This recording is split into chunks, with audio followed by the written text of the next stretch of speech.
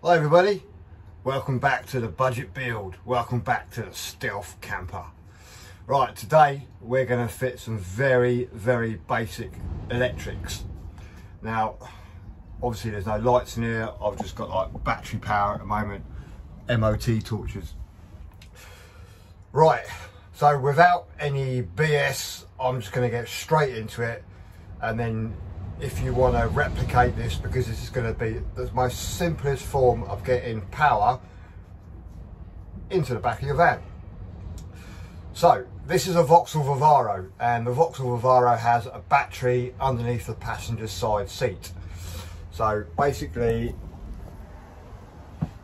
it's behind this panel. So down here this is what we're going to use. So we've got a AGM battery which was given to us. We've got a VSR unit. So this is going to connect to the starter battery under the uh, passenger side footwell. And this is going to be for, I mean, this is, this is free. So I'm just going to wire this in to the battery and then at a later date, this is going to be connected up to 240 volts just on a, a shoreline power. So what have we got? We have got the VSR. We've got some terminals for the battery. So one will be sit there and one will be sitting there and they're on little butterflies. We have a selection of lugs because we're going to need to connect these to the fuses which here and crimp it all together. We use this hydraulic clamp.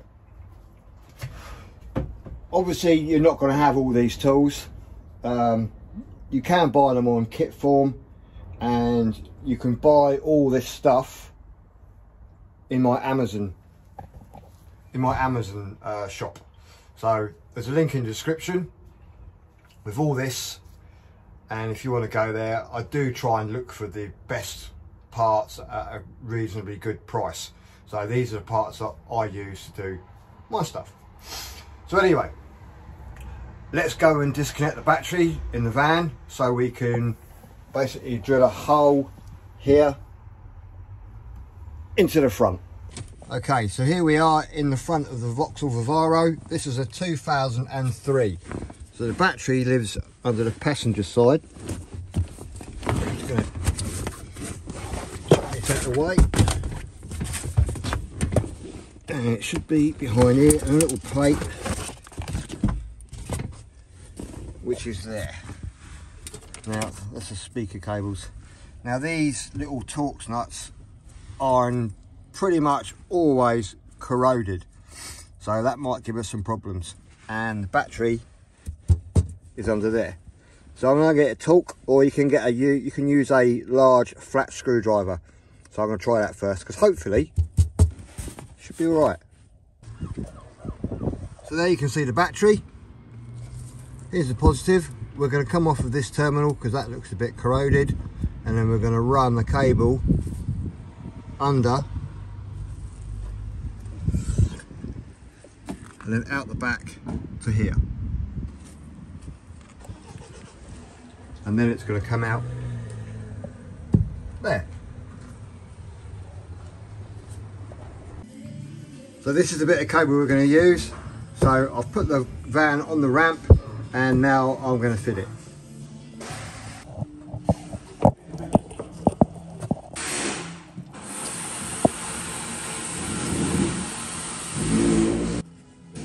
Okay, so there's the positive underneath There you go, with a fuse onto there. So I'm gonna have to cut this, trim it, put a lug on it, heat shrink it, and then put a fuse and then do another one. We'll get to that in a minute. And the end of the cable has come out there. So that's perfect. Right, so let's trim all this up, cut it, and then with all the terminals, in the the box and use a hydraulic camper, get it all done. Rightio, back inside the van.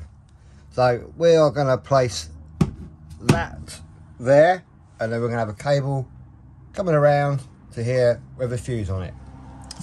So now we've got to have to measure, so I'm going to have to take the back off.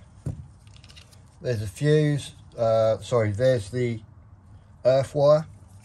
So I'll have to drill a little hole for that and we'll probably just put it down somewhere here. So that's going to go there. So we're going to have to cut the cable. So on here it says, so the camera can zoom in.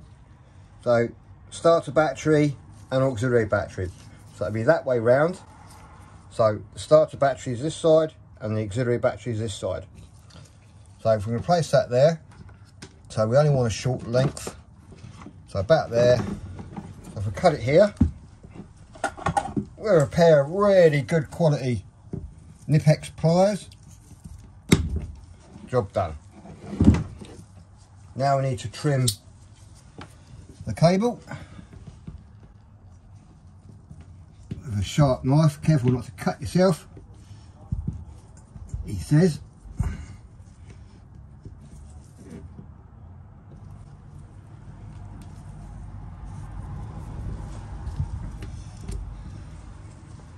And there we have it.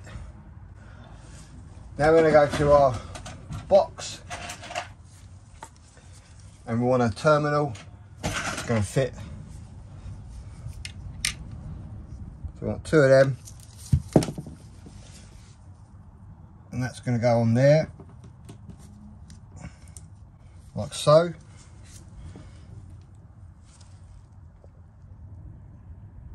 Zoom in a little bit and then what we do with the crimper with these we're going to crimp down on it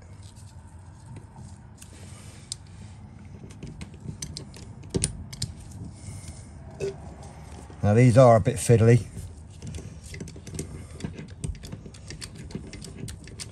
So pump it away. I think I'm using a 25 mil here.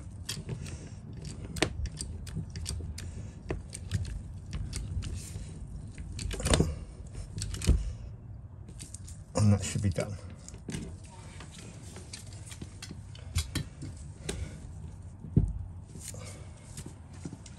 Right. Right, so we've got some heat shrink. I'm to cut a nice big length of this off. And we're going to heat shrink that on. So just slip it over. Like that. Get the old Bunsen burner.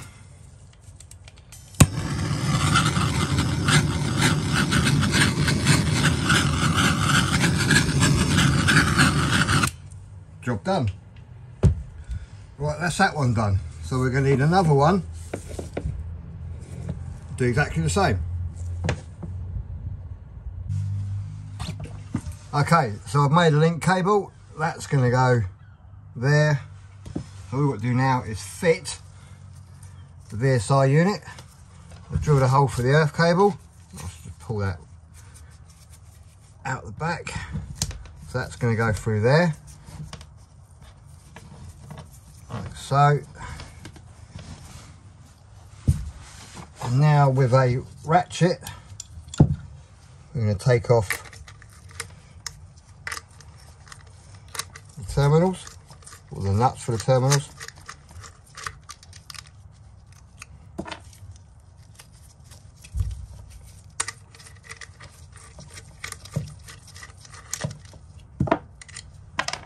Right. So here we go.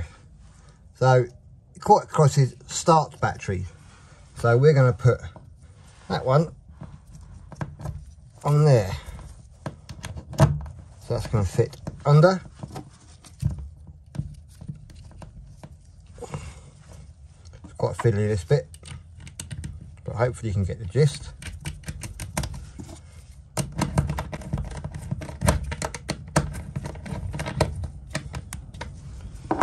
So that's that one. We're going to fit this one, and this goes to the secondary battery. So it says positive, second battery. So that one goes on there.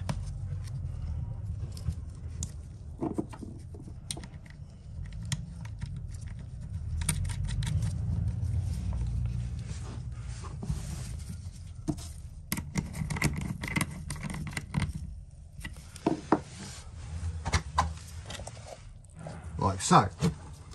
What we'll do now is cut, oh, we don't have to do that. Right, so just knit these up.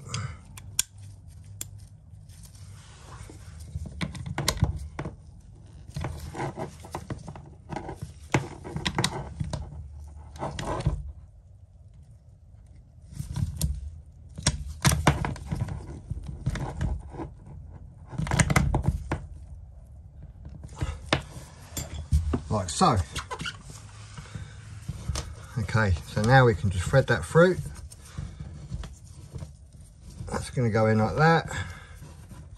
And hopefully going to sit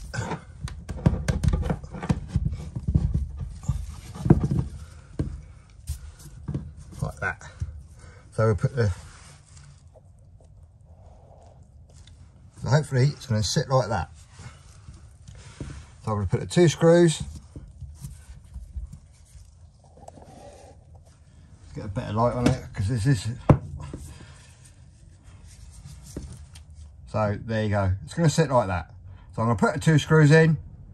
One at the top, one at the bottom. I'll do it now.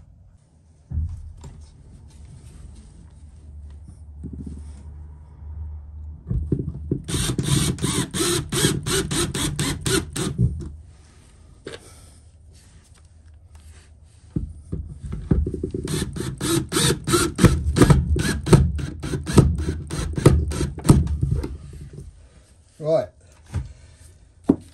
There we have it. Now what we'll do is do the fuse end for this and then we can connect it to the battery.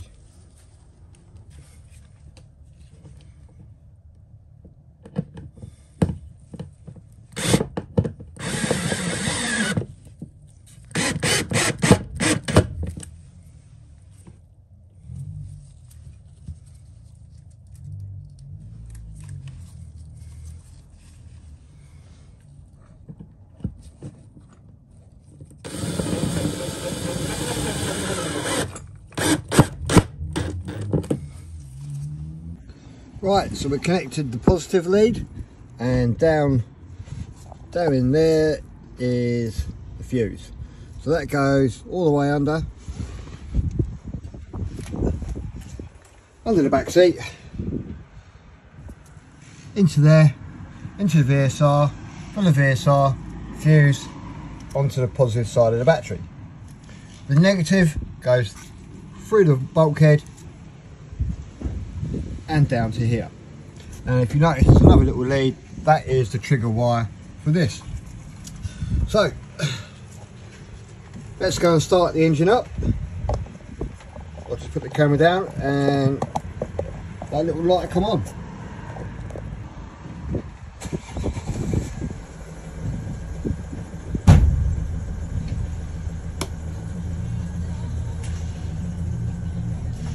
So there you go. Now we're charging. Better turn the radio down so I don't get a copyright strike.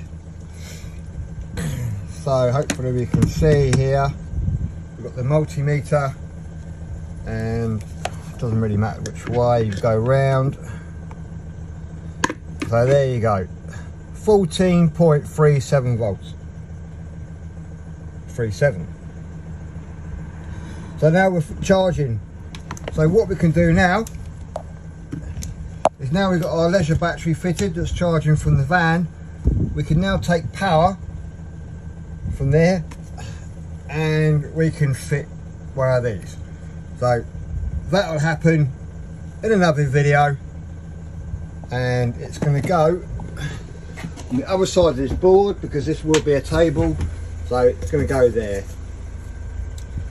or it might go on the front here so it's going to simplify everything So there you go.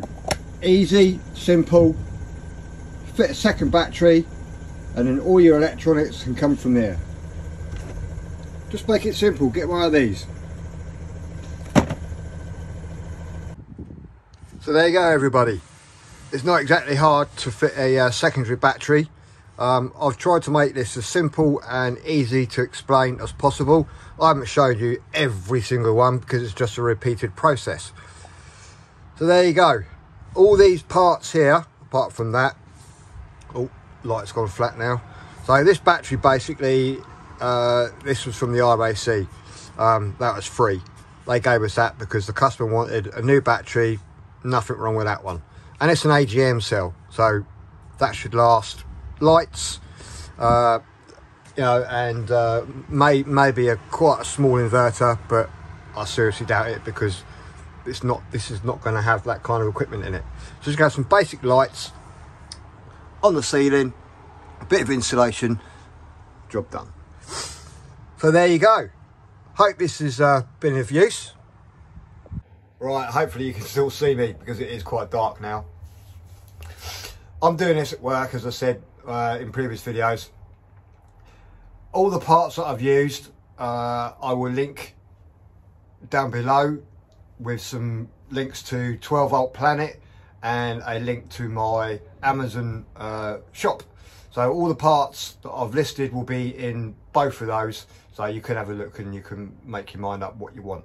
But yeah simplest way to put power in the back of the van a VSR there's nothing complicated about them and if you do want to upgrade from a VSR you can use the same wire and put a Victron DC to DC charger or any other one that's on the market. So anyway, thanks for watching. Thanks for watching the continuing episodes and the build of this stealth camper with no windows. It's quite dark in here at the moment. Does need some lights on. But hopefully in the next video I'm going to put some sound deadening on the roof. See if we can get some insulation for free from uh, a builder. They always throw this sort of stuff away, just looking skips. And then we'll get some more pallets. I'll have to sort out the pallets because obviously you need the light wood. You can pick them up because it's just about pine, isn't it? So we'll get some strips. Um, and see how it goes. Anyway, thanks for watching. Click and subscribe. Give me a thumbs up. Leave a comment. See you in the next video. Bye.